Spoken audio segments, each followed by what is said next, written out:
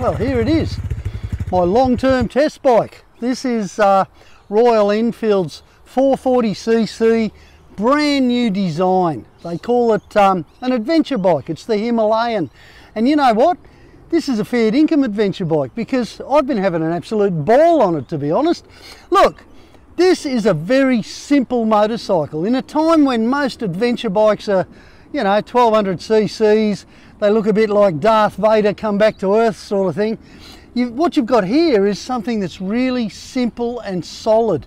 Doesn't make a lot of power, it sort of makes probably I think the, the power figures look about the same as a 254 stroke, but being a long stroke 440, it's it makes a sort of old pommy power, you know. Plenty of torque. It's got a five-speed box. It's just a lovely thing to ride. It's got a low seat height, so you know it suits short people or sometimes need to leg their way through river rocks or sand or all sorts of other stuff. Having done a, a lot of trail bike riding in my time, you know, I know that when things get really tough, wet season up the Cape, things like that, you want a bike that you can just chuck in a canoe or, you know, pull it out of a ditch or something like that and sort it out really quickly and get it going again. And this bike's all of those things. It's simple, it's solid, it's got a beautiful Harris design frame and really good brakes, which means that you get a whole world of joy just out of riding the throttle and smoothing right out and, you know, getting your old flip-flops going on the tar. As far as uh, simple things like shopping and stuff like that goes, it couldn't be better. For shopping trips, these boxes are just out of this world and it's a flat surface on top here, box to box to seat to rack, which means um, I'm not going to say I did this, but you could stick a 40 series wheel up here and take it down to the garage to get the flat fixed. Did I say I just did that? No, no, no, no, no. What does it need? It needs another muffler so that we can hear it. It's a little bit too quiet. Um, and that's about it. It gets amazing miles to the gallon. Getting 75 miles to the gallon, got a 15 litre tank. Um, it's just simple, it's solid.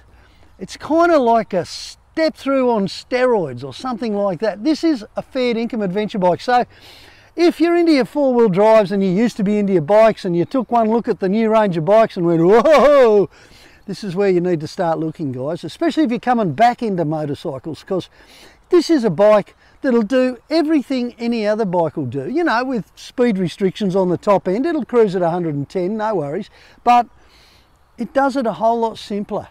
It's just a lovely, simple, beautiful motorcycle to ride. I, have got a shed full of bikes and since the Himalayan's been there, I really have to force myself to take one of the other bikes for a ride because um, it kind of reminds me of everything I loved or still do love about my Matchless except that it's in tune and it's got really good brakes and it handles a whole lot better and blah and blah and blah and blah and blah. Um, as far as servicing goes, I couldn't resist it you know, I had to have a good look over it and, oh, dead easy, fair income, you know.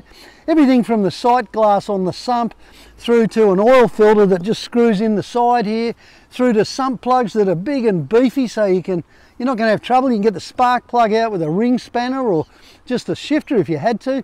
You know, man, we're talking motorcycling at its most basic, but in a way, at its best. So, um, yeah, well, I'm having a ball, and, and they're going to have a lot of trouble getting this bike back out of me, I can tell you that. Um, because sometimes keep it simple, stupid, really works well. I suggest you go have a look at a Himalayan. This is not the same as the other Enfields they've been building since 1950. You know, they're lovely things. I love them. Uh, this is all new and it's all new and it's all old at the same time. It's just lovely. Righto, guys you're thinking about getting back into motorcycling, it's absolutely perfect. If you're thinking, oh, I don't need 1200 cc's of adventure bike, it's absolutely perfect.